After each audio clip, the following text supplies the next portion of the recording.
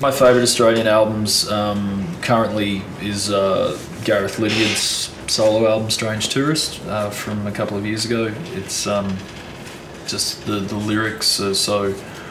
Uh, you know, just so dense and and uh, so full of, of images and stories, and um, it's it's almost more like a book. Um, it's just a beautiful, beautiful record. Um, one of my favourite Australian albums would be Ocean's Songs, um, The Dirty Three. Um, just a really atmospheric, um, beautiful record that you can put on at different times and, you know, um, sort of suits different moods. Um, and just the playing is really outstanding.